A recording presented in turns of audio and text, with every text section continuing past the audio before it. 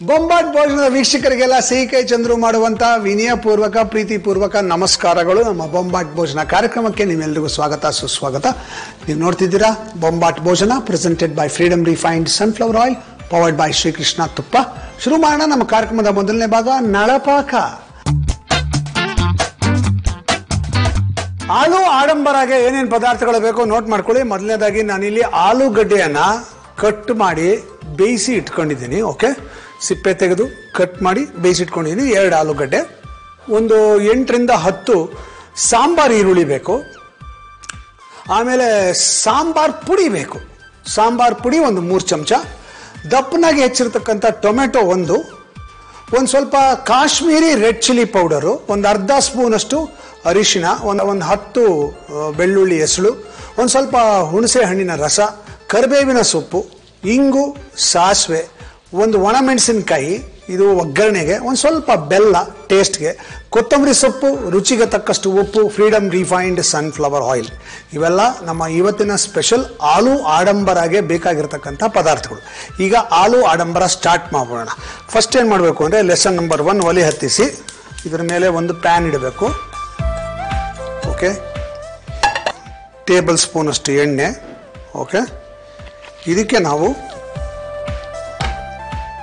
ಒಂದು ಎಂಟರಿಂದ ಹತ್ತು ಬೆಳ್ಳುಳ್ಳಿ, ಆಮೇಲೆ ಒಂದು ಹತ್ತು ಸಾಂಬಾರ್ ಈರುಳ್ಳಿ ಹಾಕಬೇಕು. ಸ್ವಲ್ಪ ಎಣ್ಣೆ ಕಾಯಿಲಿ ಇದು. ಆ್ಯಕ್ಚುಲಿ ಇದು ಚಪಾತಿಗೆ ಭಾಳ ಒಳ್ಳೆ side dish purely typical Chettinad style curry ಇದು ಓಕೆ ಚಟ್ಟಿನಾಡಲ್ಲಿ ಒಂದು ಸ್ವಲ್ಪ ಮಸಾಲೆ ಜಾಸ್ತಿ ಹಾಕ್ತಾರೆ. ನಾನು ಮಸಾಲೆ ಕಡಿಮೆ ಮಾಡಿಬಿಟ್ಟು ಬೇರೆ ಥರ ಮಾಡಿದ್ದೀನಿ. ಬಟ್ ಒಂದು ಸಾ, ಒಂದು ಚಪಾತಿಗೆ ಅಥವಾ ಬಿಸಿ ಬಿಸಿ ಅನ್ನಕ್ಕೆ ಅದ್ಭುತವಾದಂಥ ಕಾಂಬಿನೇಷನ್ ಭಾಳ ರುಚಿ ಕೊಡುತ್ತೆ. ಆಲೂಗಡ್ಡೆಯಲ್ಲಿ ಈ ಥರ ಒಂದು ಸೈಡ್ ಡಿಶ್ ಮಾಡ್ಬೋದು ಅಂತ ನೀವು ಆಶ್ಚರ್ಯ ಪಟ್ಬಿಡ್ತೀರ. ಅಷ್ಟು ಚೆನ್ನಾಗಿರುವಂಥ ಒಂದು ಅದ್ಭುತವಾದ ರುಚಿ ಇರುವಂಥ ಒಂದು ಸೈಡ್ ಡಿಶ್ ಆಗುತ್ತೆ. ಓಕೆ ಈಗ ಇದಕ್ಕೆ ನಾನು ಒಂದು ಹತ್ತು ಬೆಳ್ಳುಳ್ಳಿ ಹಾಕ್ತಾಯಿದ್ದೀನಿ ಓಕೆ ಆಮೇಲೆ ಒಂದು ಎಂಟರಿಂದ ಹತ್ತು ಸಾಂಬಾರ್ ಈರುಳ್ಳಿ. ಓಕೆ ಸಾಕು. ನಮಗೆ ಇದು ಕೇವಲ ಒಂದು ಬಾಡಿ ಕೊಡೋಕ್ಕಷ್ಟೇ ಇದು. ಇದನ್ನು ಚೆನ್ನಾಗಿ ಹುರ್ಕೋಬೇಕು. ಇದು ಬಣ್ಣ ಹೋಗೋ ತನಕ ಇದಕ್ಕೆ ಹುರಿಬೇಕು. ಬಣ್ಣ ಹೋಗ್ಬೇಕು ಅಂದ್ರೆ ಏನು ಮಾಡ್ಬೇಕು ಹೇಳಿ? ಒಂದು ಸ್ವಲ್ಪ ಉಪ್ಪು ಹಾಕಬೇಕು. ಬೇಗ ಬಣ್ಣ ಹೋಗ್ಬಿಡುತ್ತೆ. ಸೊ ನಾನಿಲ್ಲಿ ಒಂಚೂರು ಉಪ್ಪು ಹಾಕ್ತೀನಿ.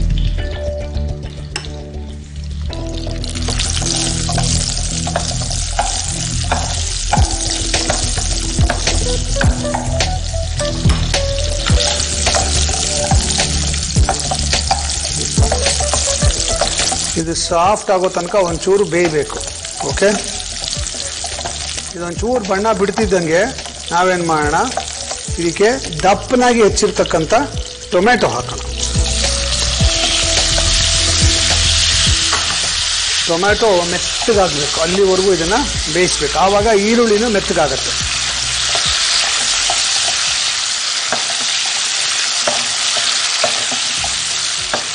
ಹ್ಞೂ ಹ್ಞೂ ಹ್ಞೂ ಹ್ಞೂ ಹ್ಮ್.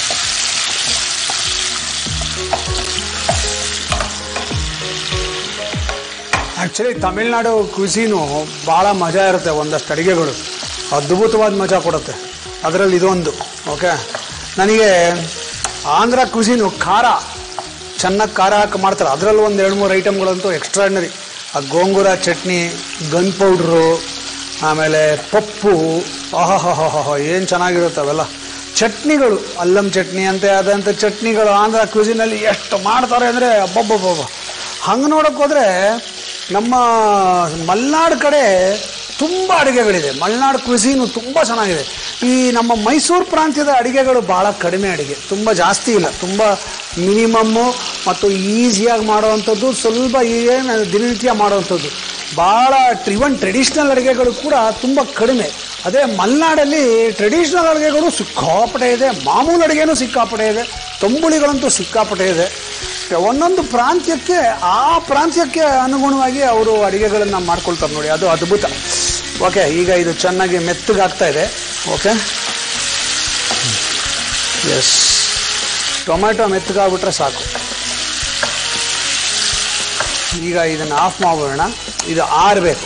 ಇದು ಆರಿದ ಮೇಲೆ ಇದನ್ನು ಸಾಂಬಾರ್ ಪುಡಿ ಜೊತೆಗೆ ರುಬ್ಬಬೇಕು ಓಕೆ, ಈಗ ಇದನ್ನ ಮಿಕ್ಸಿಗೆ ಹಾಕೊಳ್ಳೋಣ ಇದು ಆರಿದೆ. ಇದಕ್ಕೆ ಒಂದು ಮೂರು ಚಮಚದಷ್ಟು ಸಾಂಬಾರ್ ಪುಡಿ. ನೆನಪಿರ್ಲಿ, ನಿಮ್ಮ ಮನೆಯಲ್ಲಿ ಯಾವ ಸಾಂಬಾರ್ ಪುಡಿ ಬಳಸ್ತಿರೋ ಅದೇ ಸಾಂಬಾರ್ ಪುಡಿ. ಬೇರೆ ಏನು ಸ್ಪೆಷಲ್ ಏನು ಬೇಡ. ಇದರಲ್ಲಿ ನಮಗೆ ಬೇಕಾಗಿರೋ ಮಸಾಲೆ ಎಲ್ಲ ಇರುತ್ತೆ. ಇದನ್ನ ನುಣ್ಣಿಗೆ ರುಬ್ಗೋಬೇಕು ಅಷ್ಟರಲ್ಲಿ ಒಂದು ಹಳೆ ಟೇಪ್ ಹಾಕ್ತೀನಿ. ಕೇಳಿ. ಅಮೇರಿಕಾದ ಫುಟ್ಬಾಲ್ ಸೂಪರ್ ಸ್ಟಾರು ಒಬ್ಬಳಿದ್ದಾಳೆ ಅವಳ ಹೆಸರು ಆಮಿ ವ್ಯಾನ್ ಬ್ಯಾಕ್ ಅಂತ. ಈ ಸೂಪರ್ ಸ್ಟಾರ್ ಹೆಂಗೆ ಅಂದರೆ ಇವಳು ಚಿಕ್ಕವಳಿದ್ದಾಗ, ಅಂದರೆ ನಾಲ್ಕು ವರ್ಷ ಇದ್ದಾಗಲೇ ಫುಟ್ಬಾಲ್ ಮ್ಯಾಚ್ ಆಡೋಕ್ಕೆ ಶುರು ಮಾಡಿದ್ಲು. ನಾಲ್ಕು ವರ್ಷ ಇದ್ದಾಗಲೇ ಮೊದಲನೇ ಮೂರು ಮ್ಯಾಚಲ್ಲಿ ಅವಳು ಇಪ್ಪತ್ತೇಳು ಗೋಲುಗಳನ್ನು ಪಡ್ಕೊಂಡ್ಳು. ಹೊಡೆದ್ಲು. ಇಪ್ಪತ್ತೇಳು ಗೋಲು ಅದನ್ನು ನೋಡಿಬಿಟ್ಟು ಹುಡುಗಿ ಟೀಮಲ್ಲಿ ಇರಬಾರ್ದು ಇವಳು. ಹುಡುಗರ ಟೀಮಲ್ಲಿ ಇರಬೇಕು ಅಂತ ಹುಡುಗರ ಟೀಮಿಗೆ ಹಾಕ್ಬಿಟ್ರಂತೆ. ಈಗ ಬಿಡಿ. ಆಮಿ ವ್ಯಾನ್ ಬ್ಯಾಕು ರಿಟೈರ್ ಆಗ್ಬಿಟ್ಟಿದ್ದಾಳೆ. ಆದರೂ ಕೂಡ highest goal scorer of U S ಅಂತ ಹೆಸರು ಪಡ್ಕೊಂಡಿದ್ದಾಳೆ. ಅಷ್ಟೇ ಅಲ್ಲ, ಇಡೀ ಪ್ರಪಂಚದಲ್ಲಿ ಹೆಂಗಸರ ಟೀಮು ಗಂಡಸರ ಟೀಮ್ ಎಲ್ಲ ಸೇರಿಸ್ಕೊಂಡ್ರೆ second highest goal scorer Abby Wambach ಹ್ಞೂ.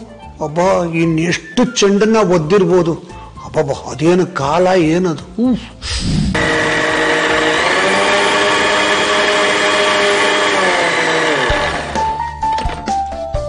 ಹೇ ಅದ್ಭುತವಾಗಿ ನಾವು ಮಸಾಲೆ ರುಬ್ಕೊಂಡಿದ್ದಾಯಿತು. ಈಗ ಈ ಕಡೆ ಇದೇ ಪ್ಯಾನ್ಗೆ ಮತ್ತೊಂದು ಸ್ವಲ್ಪ ಎಣ್ಣೆ ಹಾಕೊಳ್ಳೋಣ.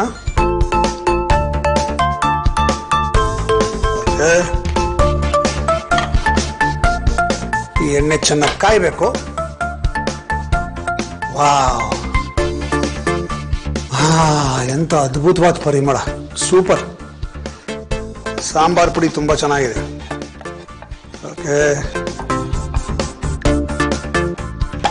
ಇದಕ್ಕೆ ಎರಡು ಬ್ಯಾಡ್ಗಿ ಮೆಣಸಿನ್ಕಾಯಿನ ಕಟ್ ಮಾಡಿ ಹಾಕೋಣ.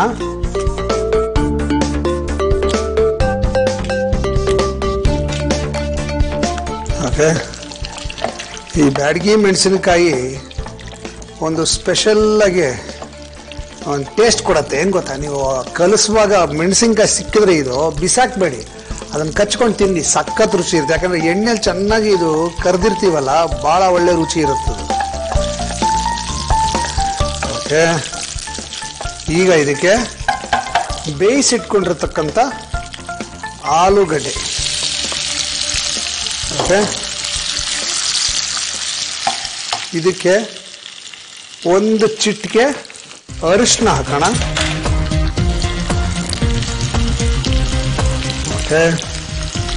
ಆಮೇಲೆ ಎರಡು ಚಮಚ Kashmiri red chilli powder.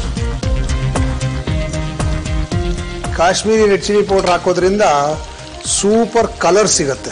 Okay. ಇದನ್ನ ಚೆನ್ನಾಗಿ ಬಾಡಿಸ್ಕೋಬೇಕು.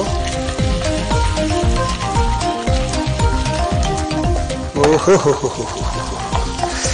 ಇದಕ್ಕೊಂದು ಸ್ವಲ್ಪ ಕರಿಬೇವಿನ ಸೊಪ್ಪು. ಸ್ವಲ್ಪ ಹೊತ್ತು ಇದನ್ನ ಬಾಡಿಸ್ಕೊಂಡ್ಮೇಲೆ ಇದಕ್ಕೆ ನಾವು ರುಬ್ಬಿಕೊಂಡಿರುವ ಮಸಾಲೆ ಹಾಕೋಣ.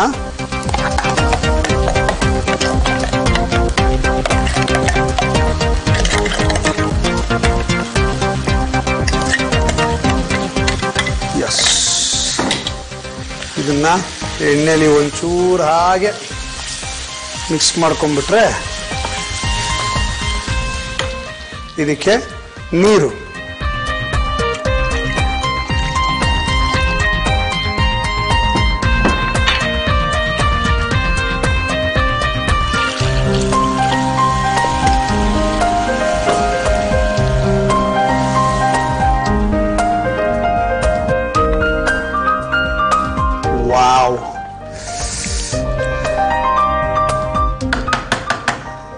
ಇದಕ್ಕೆ ಒಂದು ಚೂರು ಬೆಲ್ಲ.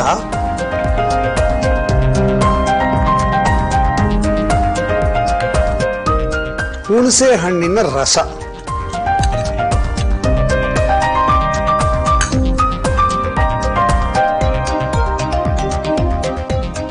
ಚೆನ್ನಾಗಿ ಮಿಕ್ಸ್ ಮಾಡಿ ಇದಕ್ಕೆ ರುಚಿಗೆ ತಕ್ಕಷ್ಟು ಉಪ್ಪು. ಓಕೆ ಇದು ಚೆನ್ನಾಗೆ ಕುದಿಬೇಕು. ಇದು ಕುದಿಬೇಕು, ಎಣ್ಣೆ ತೇಲ್ಬೇಕು. ಅಷ್ಟರಲ್ಲಿ ಇವತ್ತಿನ ಪನ್ನು ಬನ್ನು ಪ್ರಶ್ನೆ ಕೇಳ್ಬಿಡ್ಲಾ? ಇವತ್ತಿನ ಪನ್ನು ಬನ್ನು ಪ್ರಶ್ನೆ, ಓಕೆ? ಪನ್ನು ಬನ್ನು ಪ್ರಶ್ನೆ ಏನಪ್ಪಾ ಅಂದ್ರೆ, ಚಹಾ ಕುಡಿದ ಮೇಲೆ ಅರಳಿದ ಮುಖಕ್ಕೆ ಏನಂತ ಕರೀತಾರೆ. ಚಹಾ ಕುಡಿದ ಮೇಲೆ ಅರಳಿದ ಮುಖಕ್ಕೆ ಏನಂತ ಕರೀತಾರೆ. ಚೆನ್ನಾಗಿದೆಯಲ್ಲ ಪ್ರಶ್ನೆ? ಎಲ್ಲರ ಮುಖನೂ ಅರಳು ಬಿಡುತ್ತೆ ಚಹಾ ಕುಡಿದ ಮೇಲೆ ಅದಕ್ಕೆ ಏನಂತ ಕರೀತಾರೆ? ಯೋಚನೆ ಮಾಡಿ, ಆಮೇಲೆ ಬಂದು ಉತ್ತರ ಕೊಡ್ತೀನಿ. ಓಕೆ?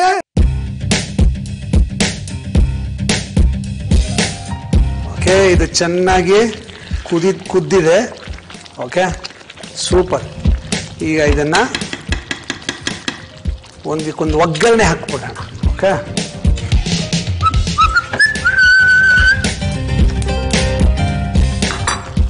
ಒಗ್ಗರಣೆ ಸ್ವಲ್ಪ ಡಿಫ್ರೆಂಟಾಗಿ ಹಾಕ್ತಾ ಇದ್ದೀನಿ ಈ ಸಲ.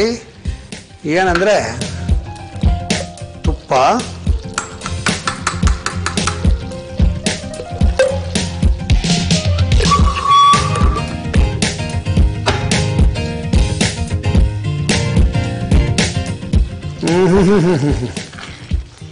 ಸೂಪರ್ ಪರಿಮಳ ಬರ್ತಾ ಇದೆ. ಬಿಸಿ ಬಿಸಿ ಅನ್ನಕ್ಕಂತೂ ಸಖತ್ತಾಗಿರುತ್ತೆ ಇದು. ಚಪಾತಿಗೆ ಸಖತ್ತಾಗಿರುತ್ತೆ. ಅದ್ಭುತವಾದ ಟೇಸ್ಟು. ಇವನ್ ದೋಸೆ, ಪೂರಿ ಎಲ್ಲದಕ್ಕೂ ಇದನ್ನ ಸೈಡ್ ಡಿಶ್ ಆಗಿ ಬಳಸ್ಬೋದು. ಫಸ್ಟ್ ಕ್ಲಾಸ್ ರುಚಿ ಕೊಡುತ್ತೆ. ಓಕೆ ಇದಕ್ಕೆ ಒಂದು ಸ್ವಲ್ಪ ಇಂಗು, ಸಾಸಿವೆ, ಒಂದು ಸ್ವಲ್ಪ ಅರಿಶಿನ ಓಕೆ ಆಮೇಲೆ ಒಂದು ಸ್ವಲ್ಪ ಕರಿಬೇವಿನ ಸೊಪ್ಪು.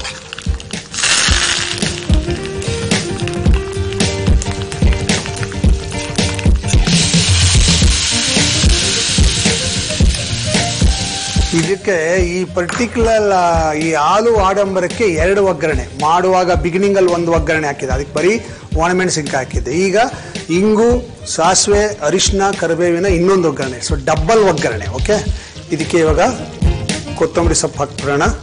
ಅಲ್ಲಿಗೆ ಅಡಿಗೆ ಮುಗೀತು ಅಂತ ಅರ್ಥ. ಆಫ್ ಮಾಡ್ಬಿಡ್ತೀನಿ. ಬಾರೋ ಗೆಳೆಯ!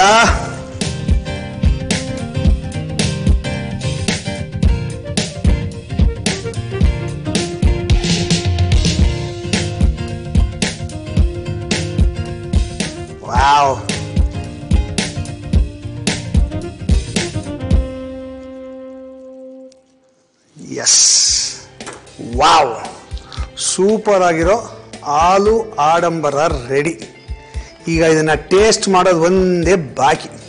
ಅದಕ್ಕೊಂಚೂರು ತಯಾರಿ ಮಾಡ್ಕೋಬೇಕು ನಾನು. ಅಷ್ಟು ನಿಮ್ಮೆಲ್ರಿಗೂ ಒಂದು ರೀಕ್ಯಾಪ್ ಆಲು ಆಡಂಬರ ಮಾಡುವ ವಿಧಾನ, ಪ್ಯಾನಿಗೆ ಎಣ್ಣೆ ಹಾಕಿ ಬಿಸಿ ಮಾಡಿ, ಅದಕ್ಕೆ ಬೆಳ್ಳುಳ್ಳಿ ಎಸಳು, ಸಾಂಬಾರ್ ಈರುಳ್ಳಿ ಹಾಕಿ ಚೆನ್ನಾಗಿ ಬಾಡಿಸಿ. ನಂತರ ದಪ್ಪಗೆ ಹೆಚ್ಚಿದ ಟೊಮೆಟೊ ಹಾಕಿ. ಟೊಮೆಟೊ ಮೆತ್ತಗಾಗುವವರೆಗೂ ಬಾಡಿಸಿ, ಒಲೆ ಆರಿಸಿ. ಹುರಿದ ಪದಾರ್ಥಗಳು ಆರಲು ಇಡಿ. ಆರಿದ ನಂತರ ಅದನ್ನು ಮಿಕ್ಸಿ ಜಾರಿಗೆ ಹಾಕಿ ಜೊತೆಗೆ ಸಾಂಬಾರ್ ಪುಡಿ ಸೇರಿಸಿ ನುಣ್ಣಗೆ ರುಬ್ಬಿ. ಪ್ಯಾನ್ಗೆ ಎಣ್ಣೆ ಹಾಕಿ ಬಿಸಿ ಮಾಡಿ ಅದಕ್ಕೆ ಬ್ಯಾಡಿಗೆ ಮೆಣಸಿನಕಾಯಿ ಹಾಕಿ ಹುರಿಯಿರಿ.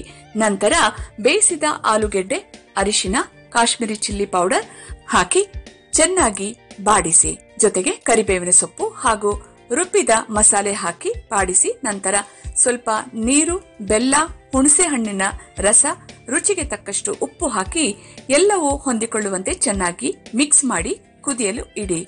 ಒಗ್ಗರಣೆ ಪಾತ್ರೆಗೆ ತುಪ್ಪ, ಇಂಗು, ಸಾಸಿವೆ, ಅರಿಶಿನ, ಕರಿಬೇವು ಹಾಕಿ ಒಗ್ಗರಣೆ ಮಾಡಿ ಕುದಿ ಬಂದ ಆಲೂ ಮಿಶ್ರಣಕ್ಕೆ ಸೇರಿಸಿ ಮೇಲೆ ಸಣ್ಣಗೆ ಹೆಚ್ಚಿದ ಕೊತ್ತಂಬರಿ ಸೊಪ್ಪು ಉದುರಿಸಿ. ಈ ಅದ್ಭುತ ರುಚಿಯ ಆಲೂ ಆಡಂಬರವನ್ನು ರೋಟಿ, ಚಪಾತಿ ಅಥವಾ ಪರಾಟ ಜೊತೆ ಉಂಡು ಆರಾಮವಾಗಿರಿ.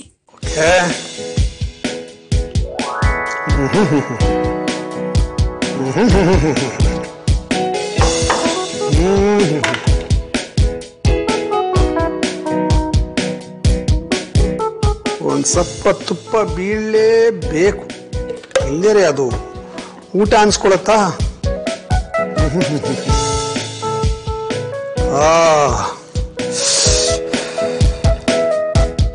ಬಿಸಿ ಇರೋ ಆರ ತನಕ ವೇಟ್ ಮಾಡೋ, ಹೆಂಗ್ ವೇಟ್ ಮಾಡೋಕ್ಕಾಗತ್ತೆ? ರುಚಿ ರುಚಿಯಾಗಿದೆ, ತಿನ್ಬೇಕಲ್ವಾ?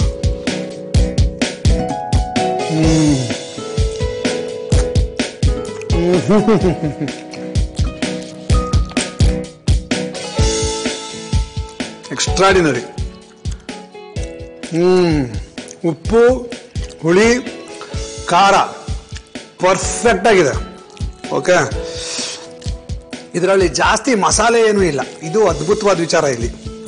ಜಾಸ್ತಿ ಮಸಾಲೆ ತುಂಬ ಒಂಥರ ಘಾಟ್ ಹೊಡೆಯೋ ಹಾಗೆ ಏನಿಲ್ಲ. ಲೈಟಾಗಿ ಒಂಚೂರು ಸಾಂಬಾರ್ ಪುಡಿಯ ಫ್ಲೇವರ್ ಇದೆ. ಈರುಳ್ಳಿ ಫ್ಲೇವರ್ ಇದೆ.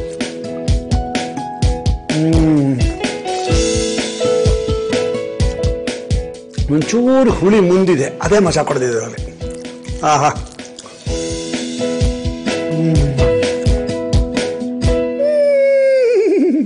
ಸೂಪರ್ ಎಷ್ಟು ಚೆನ್ನಾಗಿದೆ ಅಂದರೆ ಒಂದು ಹನಿಗಳನ್ನ ಹೇಳ್ತೀನಿ. ಕೇಳಿಸ್ಕೊಳ್ಳಿ. ಮಳೆಗಾಲದಲ್ಲಿ ಬೆಚ್ಚಗಿರಲು ಕೆಲವರು ದುಬಾರಿ ಮಳೆಕೋಟು ಟೋಪಿ ಕೊಳ್ಳುತ್ತಾರೆ ಮಳೆಗಾಲದಲ್ಲಿ ಬೆಚ್ಚಗಿರಲು ಕೆಲವರು ದುಬಾರಿ ಮಳೆಕೋಟು ಟೋಪಿ ಕೊಳ್ಳುತ್ತಾರೆ ಮತ್ತೆ ಕೆಲವರು ಒಬ್ಬರನ್ನೊಬ್ಬರು ಅಪ್ಪಿಕೊಳ್ಳುತ್ತಾರೆ. ಓಕೆ ಈಗ ಡಾಕ್ಟರ್ ಗೌರಿ ಸುಬ್ರಹ್ಮಣ್ಯ ಅವರು ಬರ್ತಾರೆ. ಆರೋಗ್ಯ ಆಹಾರ ವಿಭಾಗದಲ್ಲಿ ಆರೋಗ್ಯಕರವಾದ ಅಡಿಗೆ ಒಂದು ಮಾಡೋದು ಹೇಗೆ ಅಂತ ಹೇಳ್ಕೊಡ್ತಾರೆ. ಅದರಿಂದ ಏನೇನು ಉಪಯೋಗಗಳಿದೆ, ನಮ್ಮ ದೇಹಕ್ಕೆ ಯಾವ್ಯಾವ ರೀತಿ ಅದು ಸಹಾಯ ಮಾಡುತ್ತೆ ಎಲ್ಲವನ್ನ ತಿಳಿಸ್ತಾರೆ. ಅವ್ರು ಏನು ಹೇಳ್ತಾರೆ ಅಂತ ಅವರೇ ಒಂದು ಝಲಕ್ ಕೊಡ್ತಾರೆ, ಕೇಳಿಸ್ಕೊಳ್ಳಿ? ಮಲಬದ್ಧತೆಯನ್ನ ನಿವಾರಣೆ ಮಾಡ್ಕೋಬೇಕಾ? ಅಥವಾ ಆಮಶಂಕೆ ಇದ್ರೆ ನಿವಾರಣೆ ಮಾಡ್ಕೋಬೇಕಾ? ಎಲ್ಲಕ್ಕೂ ಅದ್ಭುತವಾದ ಔಷಧಿ. ಯಾವುದ್ರಲ್ಲಿ ಮಾಡ್ತೀನಿ? ಹೇಗ್ ಮಾಡ್ತೀವಿ? ನೋಡ್ತಾ ಇರಿ ಬೊಂಬಾಟ್ ಭೋಜನ. ಬೊಂಬಾಟ್ ಭೋಜನದ ಆರೋಗ್ಯ ಆಹಾರ ವಿಭಾಗಕ್ಕೆ ನಿಮ್ಮೆಲ್ಲರಿಗೂ ಸ್ವಾಗತ, ಸುಸ್ವಾಗತ. ಇನ್ನು ಮುಂದಿನ ಹತ್ತು ನಿಮಿಷಗಳ ಕಾಲ ನಿಮಗೆ ಒಂದು ಜ್ಞಾನೋದಯವಾಗುವಂಥ ಕಾಲ ವಿಸ್ಮಯವಾಗುವಂಥ ಕಾಲ. ಯಾಕಂದರೆ ಪ್ರಕೃತಿ ನಮಗೇನೆಲ್ಲ ಕೊಟ್ಟಿದೆ, ಎಂಥೆಂಥ ಅದ್ಭುತವಾದಂಥ ಆರೋಗ್ಯಕರವಾದಂಥ ಗುಣಗಳಿದ್ದಾವೆ ಪ್ರ- ಪ್ರಕೃತಿಯ ಈ ಗಿಡ ಆಗಿರ್ಬೋದು ಹೂ ಆಗಿರ್ಬೋದು ಎಲೆ ಆಗಿರ್ಬೋದು ಕಾಂಡ ಆಗಿರ್ಬೋದು ಎಲ್ಲದರಲ್ಲೂ ಎಷ್ಟೊಂದು ಅದ್ಭುತವಾದಂಥ ಗುಣಗಳಿದೆ ಅಂತ ತಿಳ್ಕೊಳ್ಳುವಂಥ ಒಂದು ಅದ್ಭುತವಾದ ವಿಭಾಗ ಅಂದರೆ ಈ ಆರೋಗ್ಯ ಆಹಾರ ವಿಭಾಗ. ಈ ಥರ ನಮಗೆ ಪ್ರತಿನಿತ್ಯ ಹೊಸ ಹೊಸ ವಿಚಾರಗಳನ್ನು ಹೇಳ್ತಾ ನಮಗೆ ವಿಸ್ಮಯಗೊಳಿಸೋದು ನಮ್ಮ ನಿಮ್ಮೆಲ್ಲರ ಅಚ್ಚುಮೆಚ್ಚಿನ ಅಮ್ಮ ಡಾಕ್ಟರ್ ಗೌರಿ ಸುಬ್ರಹ್ಮಣ್ಯ. ಬನ್ನಿ ಇವತ್ತಿನ ಆರೋಗ್ಯ ಆಹಾರ ವಿಭಾಗಕ್ಕೆ ಅವ್ರನ್ನ ಸ್ವಾಗತ ಮಾಡೋಣ. ಅಮ್ಮ ನಮಸ್ಕಾರ. ನಮಸ್ತೆ. ಇವತ್ತು ಏನು ವಿಶೇಷವಾದಂಥದ್ದು ಹೇಳ್ಕೊಡ್ತೀರಾ ನಮಗೆ? ಬಾಳೆಕಾಯಿ ಸಿಪ್ಪೆಯಲ್ಲಿ ಒಂದು ಪಲ್ಯ ಮಾಡ್ಕೊಂಡು ತಿನ್ನೋಣ. ಬಾಳೆಕಾಯಲ್ಲಿ ಪಲ್ಯ ಓಕೆ. ಚೆನ್ನಾಗಿರುತ್ತೆ. ಚೆನ್ನಾಗಿ ಫಸ್ಟ್ ಕ್ಲಾಸ್ ಆಗಿರುತ್ತೆ. ಫಸ್ಟ್ ಕ್ಲಾಸ್ ಆಗಿರುತ್ತೆ. ಬಾಳೆಕಾಯಿ ಸಿಪ್ಪೆಯಲ್ಲಿ? ಹಾ ಓಕೆ. ನಾನು ಯಾವತ್ತೂ ತಿಂದಿಲ್ಲ. ಮಾಡೋದು ಹೇಗೆ ಅಂತ ಗೊತ್ತಿಲ್ಲ. ಇವತ್ತು ಅವ್ರು ಹೇಳ್ತಾ ಇದಾರೆ ಅಂದರೆ ಅದರಲ್ಲಿ ಏನೋ ವಿಶೇಷತೆ ಇರುತ್ತೆ. ಮಾಡ್ಕೊಂಡು ತಿಂದೇ ಬಿಡೋಣ. ಏನು ಇವಾಗ? ಓಕೆ. ಬಾಳೆಕಾಯಿ ಸಿಪ್ಪೆಯಲ್ಲಿ ಪಲ್ಯಕ್ಕೆ ಏನೇನು ಪದಾರ್ಥಗಳು ಬೇಕಮ್ಮ? ಇದಕ್ಕೆ ಮಧುರಂಗದ ಕಾಯಿ ಅಂತೀವಲ್ಲ ಅಡಿಗೆ ಬಾಳೆಕಾಯಿ. ಅಡಿಗೆ ಬಾಳೆಕಾಯಿ ಹಾಂ. ಅಡಿಗೆ ಬಾಳೆಕಾಯಿ ಬೇಕಾಗತ್ತೆ. ಅದನ್ನ ಒಂದ್ ಎರಡೇ ಎರಡು ವಿಷಲ್ ಕೂಗಿಸಿ ಬೇಯಿಸಿಟ್ಕೊಂಡಿರುವಂತದ್ದು. ಓಕೆ. ಮಾಮೂಲಿ ಪಲ್ಯದ ಪುಡಿ ಒಂದ್ ಸ್ವಲ್ಪ ಇಟ್ಕೊಂಡಿದೀವಿ. ಸಾಂಬಾರ್ ಪುಡಿ. ಒಗ್ಗರಣೆಗೆ ಉಪಯೋಗಿಸೋದಕ್ಕೆ ಸಾಸಿವೆ ಇಂಗು ಕಡಲೆಬೇಳೆ ಉದ್ದಿನಬೇಳೆ ಒಣಮೆಣಸಿನಕಾಯಿ ಕಾಯಿ ತುರಿ ಕರಿಬೇವು ಕೊತ್ತಂಬರಿ ಸೊಪ್ಪು ಹುಣಸೆ ಹಣ್ಣಿನ ರಸ ಸ್ವಲ್ಪ ಹಾಕೊಳ್ಳೋದು. ಓಕೆ ಇವಾಗ ಮಾಡೋದು ಹೇಗೆ ಅಂತ ಹೇಳ್ಬಿಡಿ. ಮೊದಲು ಆ ಸಿಪ್ಪೆಯನ್ನ ಮಾತ್ರ ಸಣ್ಣಕ್ಕೆ ಕತ್ತರಿಸ್ಕೊಳ್ಳೋಣ. ಓಕೆ. ಹಿಂಗೆ ಬಾಂಡ್ಲೆ ತಲೆ ಒಲೆ ಮೇಲೆ ಇಡ್ಲಾ? ಹಾಂ. ಒಲೆ ಹಚ್ಕೊಂಡು ಕಾಯಿಸ್ಕೊಂಡು ಹಚ್ಬಿಡ್ಲ ಇದನ್ನ?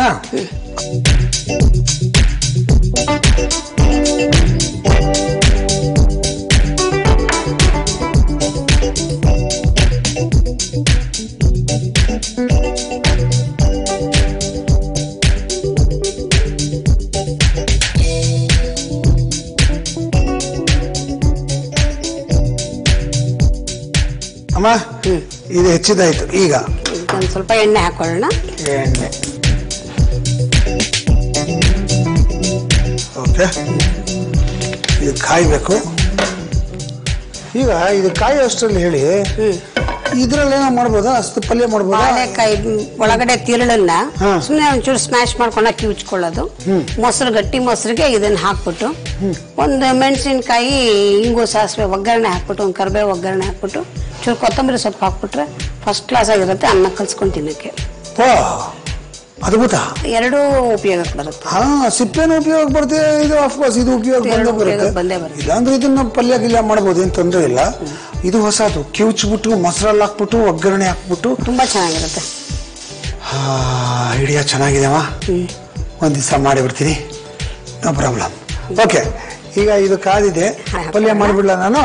ಇದನ್ನ ಹಾಕಿ ಬಾಡಿಸ್ಬಿಟ್ಟು ಎಲ್ಲ ಮಾಡಿಬಿಡ್ಲಾ ಮಾಡ್ಬಿಡ್ಲಾ? ಅಷ್ಟೇ. ಅಷ್ಟರಲ್ಲಿ ಇದ್ರಲ್ಲಿ ಏನು ಉಪಯೋಗ ಅಂತ ನೀವು ಹೇಳ್ಬಿಡಿ. ಖಂಡಿತ. ಫ್ಯಾಂಟಾಸ್ಟಿಕ್ ಬಾಳೆಕಾಯಿ, ಬಾಳೆ ಅಂತಂದ್ರೇನೆ ಬೇಕಾದಷ್ಟು ವಿಷಯ ಇದೆ. ನಾವು ಇದ್ರವರೆಗೆ ಬಾಳೆ ಗಿಡದ ಎಲೆಯಲ್ಲಿ ಕೋಸಂಬರಿ ಮಾಡಿದೀವಿ, ಮತ್ತೆ ಬಾಳೆಹಣ್ಣಿನ ಸಿಪ್ಪೆಯನ್ನು ಉಪಯೋಗ ಮಾಡಿ ಏನನ್ನ ಮಾಡಿದೀವಿ. ಈ ಥರ ಅದ್ಭುತವಾಗಿರತಕ್ಕಂಥದ್ದು ಬಾಳೆ ದಿಂಡು. ಅಂದ್ರೆ ಈ ಮರದಲ್ಲಿ ಎಲೆಯ ತುದಿಯಿಂದ ಬುಡದವರೆಗೆ ಎಲ್ಲವೂ ಔಷಧೀಯ ಗುಣಗಳಿಂದ ಕೂಡಿರ್ತಕ್ಕಂಥದ್ದು. ಮತ್ತೆ ಇದೊಂದು ಪರಿಪೂರ್ಣ ಆಹಾರ. ಬರೀ ಸಿಪ್ಪೆ ತಿಂದರೂ ಪರಿಪೂರ್ಣ ಆಹಾರ, ಹಣ್ಣು ತಿಂದರೂ ಪರಿಪೂರ್ಣ ಆಹಾರ, ಮತ್ತೆ ಆ ಎಲೆಯನ್ನೇ ತಿಂದರೂ ಕೂಡ ಪರಿಪೂರ್ಣ ಆಹಾರ. ಇಷ್ಟು ಅದ್ಭುತವಾಗಿರ್ತಕ್ಕಂಥದ್ದು. ಬಾಳೆ ಎಲೆ ಮೇಲೆ ಊಟ ಮಾಡೋದ್ರಿಂದ ಯಾವುದೇ ಬ್ಯಾಕ್ಟೀರಿಯಾಗಳು, ವೈರಾಣುಗಳ ಸಮಸ್ಯೆಗಳು ಬರುವುದಿಲ್ಲ. ಇದೊಂದು ವೈಜ್ಞಾನಿಕವಾಗಿ ದೃಢಪಟ್ಟಿರ್ತಕ್ಕಂಥದ್ದು. ಹಾಗಾಗಿಯೇ ಯಾವುದೇ ಕಾಲಕ್ಕೂ ಕೂಡ ಬಾಳೆ ಎಲೆಯಲ್ಲಿ ಊಟ ಮಾಡೋದು ಶ್ರೇಷ್ಠವಾಗಿರುವಂಥದ್ದು. ಇನ್ನು ನಾವಿವತ್ತು ಕೇವಲ ಸಿಪ್ಪೆಯನ್ನು ಬಳಕೆ ಮಾಡಿ ಪಲ್ಯವನ್ನು ಮಾಡ್ತಾ ಇದ್ದೀವಿ. ಇದರಲ್ಲಿ ನಾರಿನ ಅಂಶ ಅತ್ಯಧಿಕವಾಗಿ ಇರತಕ್ಕಂಥದ್ದು. ನಾರಿನ ಅಂಶ ಯಥೇಚ್ಛವಾಗಿ ಇರೋದ್ರಿಂದ ಮಲಬದ್ಧತೆ ನಿವಾರಣೆ ಆಗುತ್ತೆ. ಈ ಸಿಪ್ಪೆಯನ್ನು ಉಪಯೋಗಿಸಿ ನಾವು ಏನನ್ನಾದರೂ ಅಡುಗೆ ರೂಪದಲ್ಲಿ ಮಾಡ್ಕೊಂಡು ಸೇವನೆ ಮಾಡೋದ್ರಿಂದ ಆಮಶಂಕೆ ಏನಾದರೂ ಇದ್ದರೆ ಅದು ನಿವಾರಣೆ ಆಗುತ್ತೆ. ಮತ್ತು ಈ ಸಿಪ್ಪೆಯನ್ನು ಉಪಯೋಗಿಸಿ ನಾವು ಆಹಾರದ ರೂಪದಲ್ಲಿ ಸೇವನೆ ಮಾಡೋದ್ರಿಂದ ಶಕ್ತಿವರ್ಧಕವಾಗಿ ಇದು ಕೆಲಸವನ್ನ ಮಾಡುತ್ತೆ. ಗರ್ಭಿಣಿ ಸ್ತ್ರೀಯರು ಇದನ್ನ ಸೇವನೆ ಮಾಡೋದ್ರಿಂದ ಅವರಿಗೆ ಹುಟ್ಟುವಂತಹ ಮಗುವಿಗೆ ಅಪೌಷ್ಟಿಕತೆ ಬರೋದಿಲ್ಲ. ನಾವು ಇದಕ್ಕೆ ಏನೇನೇನೇನೋ ತಿನ್ಬೇಕು ಅಂತ ನಾವು ಅನ್ಕೊಂಡಿರ್ತೀವಿ. ಕೇವಲ ಬಾಳೆ ಗಿಡದ ಬಾಳೆಹಣ್ಣು ಅಥವಾ ಬಾಳೆಕಾಯಿಯ ಸಿಪ್ಪೆಯೇ ಸಾಕು ಅಪೌಷ್ಟಿಕತೆಯನ್ನು ದೂರ ಮಾಡೋದಿಕ್ಕೆ. ಹಾಗಾಗಿ ಇದು ಎಲ್ಲರಿಗೂ ಕೂಡ ಸರ್ವಕಾಲಿಕವಾಗಿ ಇದು ಶ್ರೇಷ್ಠವಾಗಿರ್ತಕ್ಕಂಥದ್ದು ಈ ಸಿಪ್ಪೆ. ಈ ಸಿಪ್ಪೆಯಲ್ಲಿ ನಾರಿನ ಅಂಶ ಹಣ್ಣಿಗಿನ್ನ ಅಧಿಕವಾಗಿದೆ. ಪೊಟ್ಯಾಷಿಯಂ ಜಾಸ್ತಿ ಇದೆ. ಪೊಟ್ಯಾಷಿಯಂ ಜಾಸ್ತಿ ಇರೋದ್ರಿಂದ ಹೃದಯ ದೌರ್ಬಲ್ಯಕ್ಕೆ ಇದು ಬಹಳ ವಿಶೇಷವಾಗಿ ಸಹಾಯವನ್ನ ಮಾಡುವಂಥದ್ದು. ಮತ್ತೆ ಬಾಳೆಹಣ್ಣನ್ನ ಕೆಲವು ಮಧುಮೇಹಿಗಳು ತಿನ್ನೋದಕ್ಕೆ ಹೆದರ್ತಾರೆ. ಆದರೆ ತಿನ್ನೋದ್ರಿಂದ ಏನೂ ಆಗೋದಿಲ್ಲ. ಆದರೆ ಹಣ್ಣನ್ನ ತಿಂದೇ ಇದ್ರೂ ಪರವಾಗಿಲ್ಲ, ಸಿಪ್ಪೆಯನ್ನ ಬಳಕೆ ಮಾಡಿ ಖಂಡಿತವಾಗಿಯೂ ಕೂಡ ಎಲ್ಲ ರೀತಿಯ ಖನಿಜ ಪದಾರ್ಥಗಳು ಮತ್ತೆ ಜೀವಸತ್ವಗಳು ಅವರಿಗೆ ಸುಲಭವಾಗಿ ಸಿಕ್ಕತ್ತೆ. ಹಾಗಾಗಿ ಬಾಳೆಕಾಯಿ ಅಥವಾ ಬಾಳೆಹಣ್ಣು ಯಾವುದ್ರದ್ದೇ ಆಗಲಿ ಸಿಪ್ಪೆ ಕೂಡ ಬಿಸಾಕುವಂತಹ ಪದಾರ್ಥವಲ್ಲ. ಇದನ್ನ ನಾವು ಸರಿಯಾಗಿ ಬಳಕೆಯನ್ನ ಮಾಡಿಕೊಳ್ಬೇಕಷ್ಟೆ.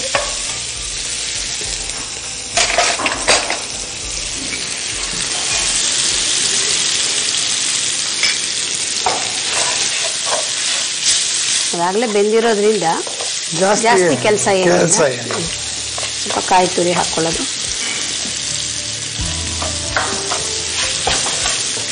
ಸ್ವಲ್ಪ ಹುಣಸೆ ರಸ ಅಷ್ಟೆ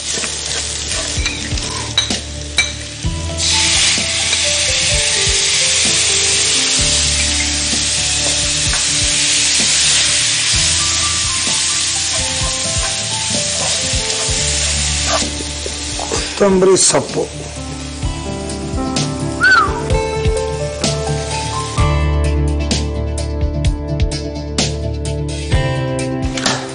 ರುಚಿಗೆ ತಕ್ಕಷ್ಟು ಉಪ್ಪು.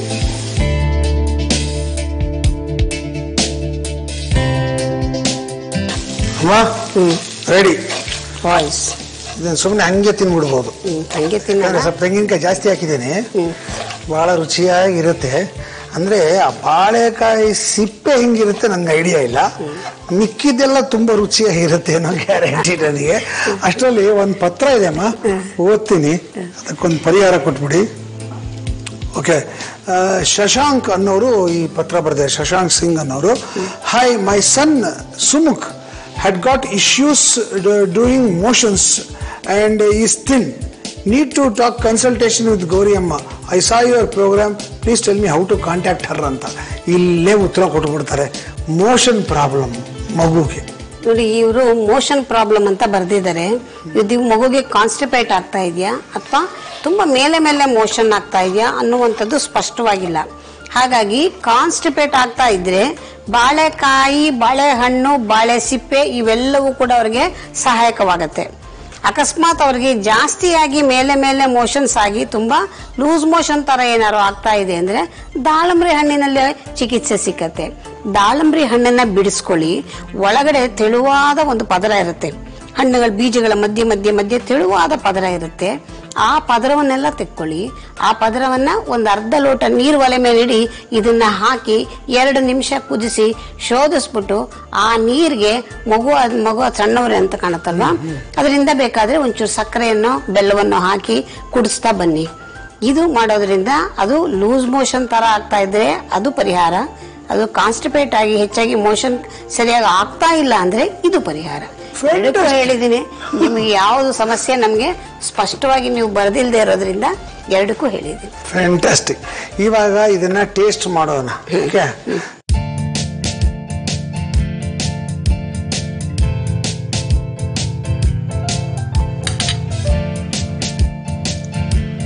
ಬಾಳೆಕಾಯಿ ಸಿಪ್ಪೆಯಲ್ಲಿ ಪಲ್ಯ ಮಾಡಿದೀನಮ್ಮ ತಿಂದು ನೋಡಿ ಹೇಗಿದೆ ಅಂತ ಹೇಳಿಮ್ಮ ನೋಡೋಣ ಹೇಗಿದೆ ಅಂತ. ನೀವು ಬಾಳೆಕಾಯಿ ಪಲ್ಯ ತಿಂದಿರ್ತೀರ? ಬಾಳೆಕಾಯಿ ಸಿಸಿಪೇನಲ್ಲಿ ಪಲ್ಯ. ಹೌದು. ನೋಡೋಣ ಇವತ್ತು ಹೇಗಿರುತ್ತೆ ಅಂತ ತಿಳ್ಕೊಳ್ಳೋಣ.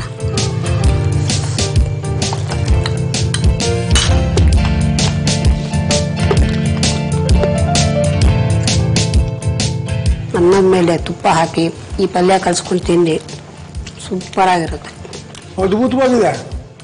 ನಾನೇನೋ ನಾರು ನಾರು ಬಾಯಿ ಸಿಗುತ್ತೆ. ಮತ್ತೇನೇನೋ ಕಲ್ಪನೆಗಳು ನನಗೆ. ಏನೂ ಇಲ್ಲ. ಟೇಸ್ಟಲ್ಲಿ ಏನೂ ವ್ಯತ್ಯಾಸ ಇಲ್ಲ. ಓಕೆ ಇಲ್ಲಿ ಬರ್ತಾ ಇರೋದೇ ಸಾಂಬಾರ್ ಪುಡಿಯ ಘಮ. ಹೌದು. ಆಮೇಲೆ ಹುಣಸೆ ಹಣ್ಣಿನ ಹುಳಿ. ಎರಡೇ ಬರ್ತಾ ಇರೋದು. ಹೌದು. ಬಾಳೆಕಾಯಿ ಸಿಪ್ಪದು ಏನೂ ಗೊತ್ತಾಗ್ತಿಲ್ಲ. ಮತ್ತು ಸಖತ್ತಾಗಿದೆ. ನೀವು ಹೇಳ್ದಂಗೆ ಅನ್ನಕ್ಕೆ ಇದನ್ನ ಹಾಕ್ಬಿಟ್ಟು ಕಳಿಸ್ಬಿಟ್ಟು ಅಷ್ಟೇ ಸಖತ್ತಾಗಿರುತ್ತೆ. ಹ್ಮ್. ಉದ್ದಿನ ಬೇಳೆ ಕಟ್ಲೆ ಬೇಳೆ ಕಟ್ಟು ಕುಟುಂಬ ಅಂತ ಸಖತ್ ಮಜಾ ಕೊಡುತ್ತೆ. ಅದ್ಭುತ. ನನಗೆ ಇವತ್ತು ಒಂದು ಹೊಸ ಐಟಮ್ ಸಿಕ್ತು. ನೆಕ್ಸ್ಟ್ ಟೈಮ್ ಬಾಳೆಕಾಯಿ ತಂದಾಗ ಮನೆಯಲ್ಲಿ ಇದನ್ನು ಮಾಡ್ತೀನಮ್ಮ. ಬಿಸಾಕ್ತೀರಾ? ಬಿಸಾಕ್ದಿರಾ ಹ್ಮ್. ಅದ್ಭುತವಾಗಿ ಮಾಡ್ಬೋದು. ಅರೆ ಅಮೇಝಿಂಗ್ ಒಂಚೂರು ಗೊತ್ತಾಗಲ್ಲಮ್ಮ. ಏನು ಅನ್ಸಲ್ಲ ಏನು ಅನ್ಸಲ್ಲ ಟ್ರೈ ಮಾಡಿ ನೋಡಿ. Extraordinary seriously super. ಅಮ್ಮ ಹೊಸ ಅಡಿಗೆ ಹೇಳ್ಕೊಟ್ರಿ. ಥ್ಯಾಂಕ್ ಯು ಸೋ ಮಚ್ ನಮಸ್ತೆ ಥ್ಯಾಂಕ್ ಯು ಶುರು ಮಾಡೋಣ ನಮ್ಮ ಕಾರ್ಯಕ್ರಮದ ಮುಂದಿನ ಭಾಗ ನಳಪಾಕ. ನಳಪಾಕದಲ್ಲಿ ಇವತ್ತೊಂದು ಸ್ಪೆಷಲ್ ಚಟ್ನಿ ಮಾಡೋದನ್ನ ಹೇಳ್ಕೊಡ್ತೀನಿ. ಇದಕ್ಕೆ ನಾನು ಇಟ್ಟಿರೋ ಹೆಸರು ಗೊತ್ತಾ? ಮಾಮರಾಗ ಅಂತ. ಮಾಮರಾಗ ಅಂದ್ರೆ ಮಾಮರ ಅಂತಿದೆ. ಮಾಮರ ಅಂದ್ರೆ ಮಾವಿನ ಹಣ್ಣಿನ ಮರ. ಓಕೆ ಮಾಮರ.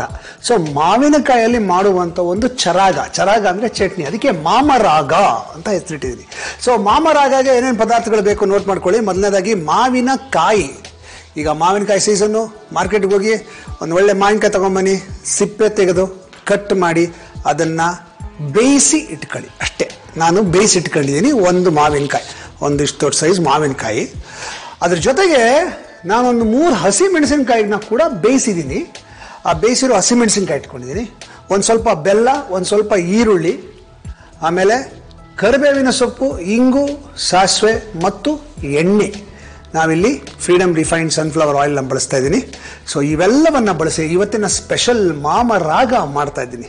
ಭಾಳ ಈಸಿಯಾಗಿ ಭಾಳ ಸಿಂಪಲ್ ಆಗಿ ಮಾಡುವಂಥ ಒಂದು ಚಟ್ನಿ. ಇದಕ್ಕೆ ಏನಪ್ಪ ಪ್ರಿಪರೇಷನ್ ಅಂದರೆ ಮಾವಿನಕಾಯಿ ಮತ್ತು ಹಸಿಮೆಣಸಿನ್ಕಾಯಿನ ಬೇಯಿಸ್ಕೊಳ್ಳೋದಷ್ಟೇ. ಮಾವಿನಕಾಯಿ ಹೆಚ್ಚಿಬಿಟ್ಟು ಕುಕ್ಕರಲ್ಲಿ ಹಾಕದ ಮೆಣಸಿನ್ಕಾಯಿ ಹಾಕ್ತಾ ಒಟ್ಟಿಗೆ ಬೇಯಿಸ್ತಾ ನೀರು ಶೋಧಿಸ್, ಪಕ್ಕಕ್ಕಿಟ್ಟ ಶುರು ಮಾಡಿದ ಅಷ್ಟೇ. ಸೊ ಈಗ ನಾನು ಅದನ್ನು ಮಾಡ್ಕೊಂಡಿದ್ದೀನಿ ಇದಕ್ಕೆ ಏನು ಮಾಡೋಣ ಅಂದರೆ ಫಸ್ಟು ಶುರು ಮಾಡೋಣ. ಏನು ಮಾಡಬೇಕು ಅಂದರೆ, ಒಂದು ಮಿಕ್ಸಿಗೆ ಈ ಬೇಯಿಸಿರುವ ಮಾವಿನಕಾಯಿ ಮತ್ತು ಹಸಿ ಮೆಣಸಿನಕಾಯಿನ ಹಾಕಿ ರುಬ್ಬಬೇಕು. ಇದು ಬೇಸಿಕ್ ಫಸ್ಟ್ ಸ್ಟೆಪ್ ಓಕೆ ಇದಕ್ಕೆ ಒಂದು ಮೂರು, ನಾಲ್ಕು ಮೆಣಸಿನ್ಕಾಯಿ ಹಾಕ್ತೀನಿ. ಖಾರ ಚೆನ್ನಾಗಿರಲಿ ಓಕೆ ಈಗ ಇದನ್ನು ರುಬ್ಬೋದು. ನುಣ್ಣಗೆ ರುಬ್ಬಬೇಕು. ನಾನು ನುಣ್ಣಗೆ ರುಬ್ಕೊಳ್ತೀನಿ. ಅಷ್ಟರಲ್ಲಿ ಒಂದು ಟೈಮ್ ಪಾಸು ಮಾಡೋಣ ಏನಂತೀರಾ?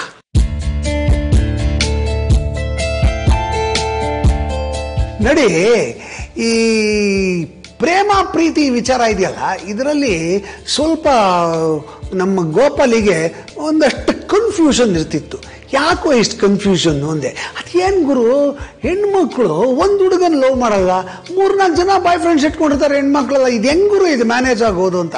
ಯಾವ ಯಾಕೆ ಇಂಥ ವಿಷಯಕ್ಕೆಲ್ಲ ತಲೆ ಕೆಡಿಸ್ಕೊಡ್ತೀಯ? ಬಿಟ್ಬಿಡು ಅಂದರೆ, ಅವನು ಇಲ್ಲ, ಇದಕ್ಕೆ ನಾನು ಉತ್ತರ ಕಂಡುಹಿಡಿಯಬೇಕು ಹೆಣ್ಮಕ್ಳು ಒಬ್ಬನ್ನೇ ಪ್ರೀತಿಸ್ಬೇಕು, ನಾಲ್ಕು ಜನ ಬಾಯ್ ಫ್ರೆಂಡ್ಸ್ನ ಮಾಡ್ಕೋಬಾರ್ದು, ಹಂಗೇನಾದ್ರು ಮಾಡಬೇಕು ಅಂತ ಯೋಚನೆ ಮಾಡಿ ಗೋಪಾಲಿ ತಪಸ್ಸಿಗೆ ಕೂತ್ಕೊಂಡ್ಬಿಟ್ಟ.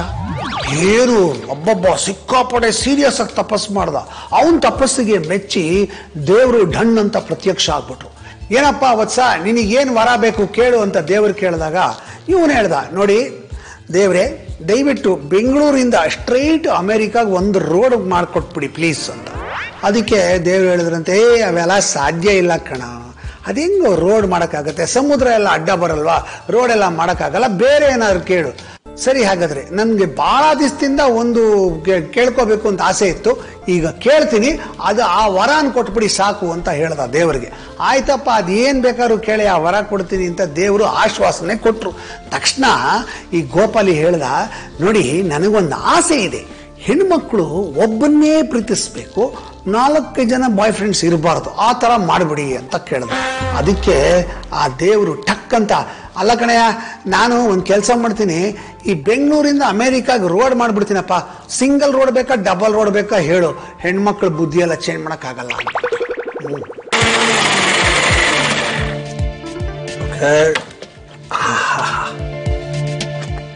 ಇದು ರುಬ್ಕೊಂಡಿದ್ದಾಯ್ತು look at the colour beautiful okay. ಈಗೇನು ಮಾಡಬೇಕು ಅಂದರೆ ಒಂದು ಒಲೆ ಹತ್ತಿಸ್ಕೋಬೇಕು. ಒಲೆ ಹತ್ತಿಸ್ಕೊಂಡು.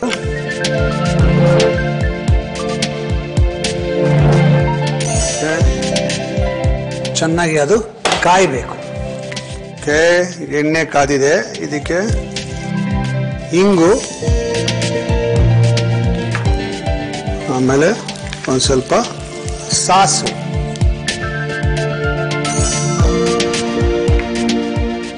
ಚೆನ್ನಾಗಿ ಸಿಡಿಬೇಕು.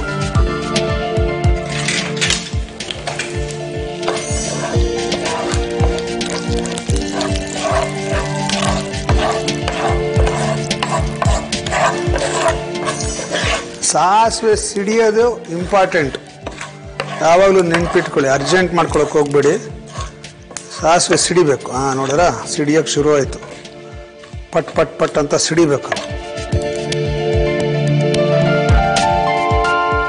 ಸಿಡಿಯೋಕ್ಕೆ ಶುರು ಆಗ್ತಿದ್ದಂಗೆ ಒಂದು ಸ್ವಲ್ಪ ಕರಿಬೇವಿನ ಸೊಪ್ಪು. ಕರಿಬೇವಿನ ಸೊಪ್ಪು ಹಾಕಿದ್ಮೇಲೆ ಒಂದು ಸ್ವಲ್ಪ ಈರುಳ್ಳಿ. ಸಣ್ಣದಾಗಿ ಹೆಚ್ಚಿರುವ ಈರುಳ್ಳಿ.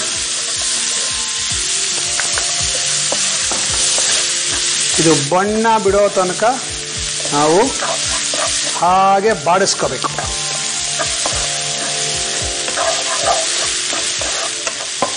ಇದು ಬಣ್ಣ ಬಿಡ್ತಿದ್ದಂಗೆ ಇದಕ್ಕೆ ನಾವು ಬೆಲ್ಲ ಹಾಕೋಣ. ಬೆಲ್ಲ ಕರಗಬೇಕು, ಅದರಿಂದ ಈಗಲೇ ಹಾಕ್ತಾ ಇದ್ದೀನಿ. ಓಕೆ. ಒಂದು ಎರಡು ಟೇಬಲ್ ಸ್ಪೂನಷ್ಟು ಬೆಲ್ಲದ ಪುಡಿ.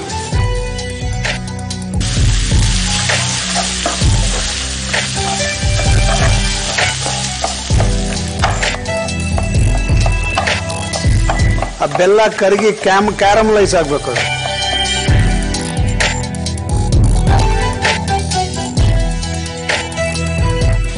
ಯೋಚನೆ ಮಾಡ್ತಾ ಇರ್ಬೋದು. ಏನಪ್ಪ ಇವನು ಎಣ್ಣೆಗೆ ಬೆಲ್ಲ ಹಾಕ್ಬಿಟ್ಟ ಅಂತ. ನಿಮಗೆ ಗೊತ್ತಾ? ರಿಫೈನ್ ಮಾಡಬೇಕಾದ್ರೆ ಎಣ್ಣೆ ರಿಫೈನ್ ಮಾಡಬೇಕಾದ್ರೆ ಬೆಲ್ಲ ಯೂಸ್ ಮಾಡ್ತಾರೆ. ಅದರಿಂದ ರಿಫೈನ್ ಮಾಡ್ತಾರೆ. ಸೊ ಹಾಗಾಗಿ ಬೆಲ್ಲಕ್ಕೂ ಎಣ್ಣೆಗೂ ಒಂದು ಅದ್ಭುತವಾದಂಥ ಬಾಂಧವ್ಯ ಇದೆ. ಓಕೆ ಇದಷ್ಟೊತ್ತಿಗೆ ಕರಗು, ಕರಗಿ, ನೀಟಾಗಿ ಕ್ಯಾರಮಲೈಸ್ ಆಗ್ತಾ ಇದೆ. ಈಗ ಇದಕ್ಕೆ ನಾವು ರುಬ್ಬಿಕೊಂಡಿರ್ತಕ್ಕಂಥ ಮಾವಿನಕಾಯಿ ಮತ್ತು ಹಸಿಮೆಣಸಿನಕಾಯಿ. ಇದನ್ನ ಹಾಕೋಣ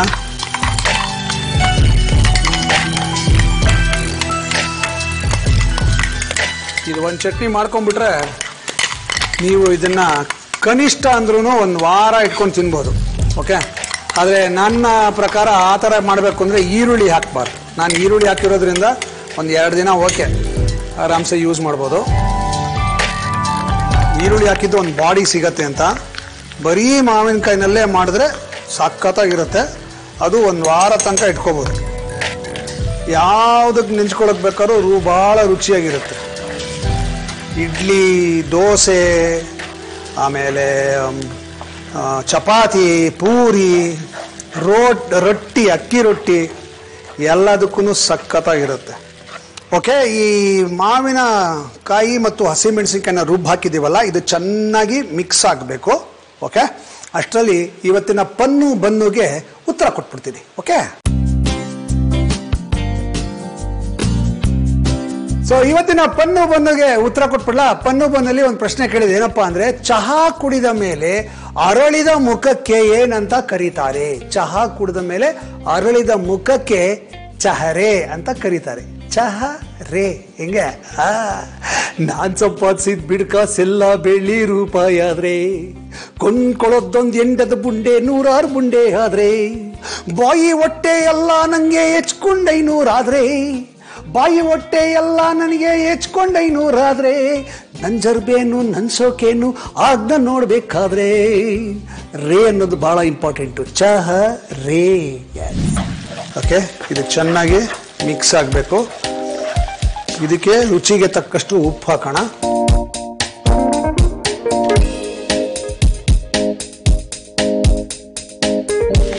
ಆಹಾ. ಮಾವಿನಕಾಯಿ ಚರಾಗ, ಮಾಮ ರಾಗ. Simple and very very tasty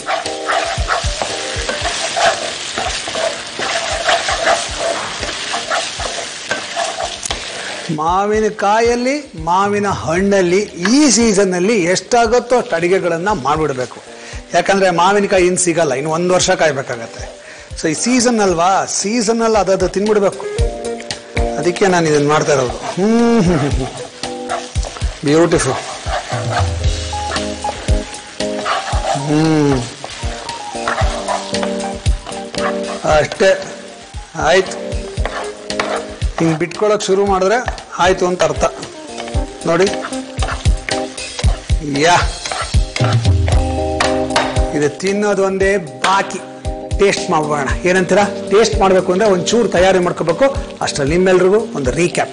ಮಾವರಾಗ.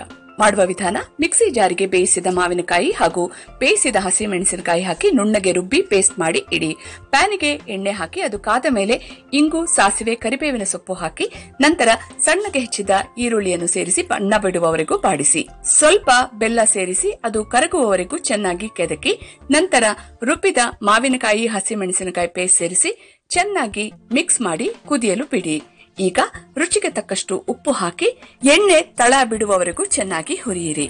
ಈ ಮಾವಿನಕಾಯಿಯ ಮಧುರವಾದ ರುಚಿ ಹಾಗೂ ಸೊಗಡಿನ ಮಾವ ರಾಗ ಅನ್ನು ಬಿಸಿ ಬಿಸಿ ಅನ್ನ ತುಪ್ಪ ಇಲ್ಲ ರೊಟ್ಟಿ ಚಪಾತಿಯೊಂದಿಗೆ ಸವಿದು ಮಸ್ತಾಗಿರಿ.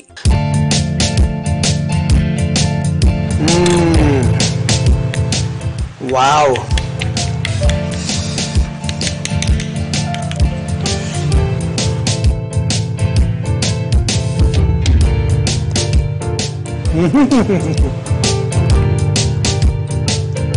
ಯಪ್ಪ ಯಮ್ಮ ಯೋ ಅಪ್ಪಬ ಯಕಪ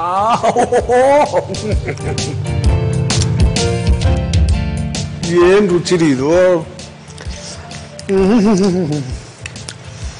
ಪರ್ಫೆಕ್ಟ್ ಆಗಿದೆ ಗೊತ್ತಾ ಹುಳಿ ಖಾರ ಮತ್ತು ಸಿಹಿ ಬ್ಯೂಟಿಫುಲ್ ಆಗಿ ಬ್ಯಾಲೆನ್ಸ್ ಆಗಿದೆ ಉಪ್ಪು ಪರ್ಫೆಕ್ಟ್ ಆಗಿ ಬ್ಯಾಲೆನ್ಸ್ ಆಗಿದೆ ತಿನ್ಬೇಕಾದ್ರೆ ಆ ಈರುಳ್ಳಿ ಕರುಮ್ ಕುರುಮ್ ಅಂತ ಸಿಗತ್ತೆ.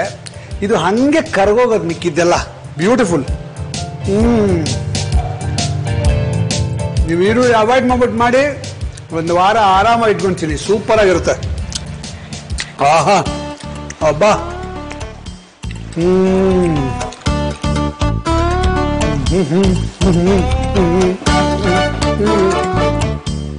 ಒಳ್ಳೆ ಅಡುಗೆ ಮಾಡ್ಬಿಟ್ರೆ ಡ್ಯಾನ್ಸ್ ಮಾಡಬೇಕು ಅನ್ನೋಷ್ಟು ಖುಷಿ ಆಗುತ್ತೆ.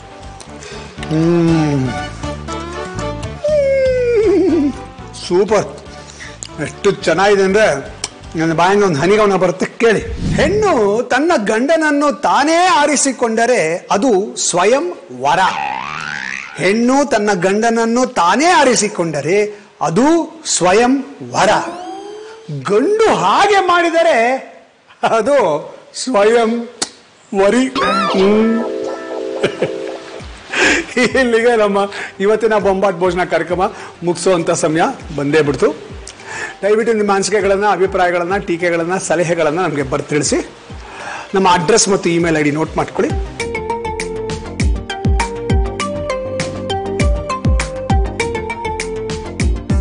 ಬೊಂಬಾಟ್ ಭೋಜನದ ಎಲ್ಲ ಸೋಷಿಯಲ್ ಮೀಡಿಯಾ ಹ್ಯಾಂಡಲ್ಗಳನ್ನ ಲೈಕ್ ಮಾಡಿ ಫಾಲೋ ಮಾಡಿ ಶೇರ್ ಮಾಡಿ ನಿಮಗೆ ಬೊಂಬಾಟ್ ಭೋಜನದ ಎಲ್ಲ ಅಪ್ಡೇಟ್ಸು ಸಿಗ್ತಾನೇ ಇರುತ್ತೆ.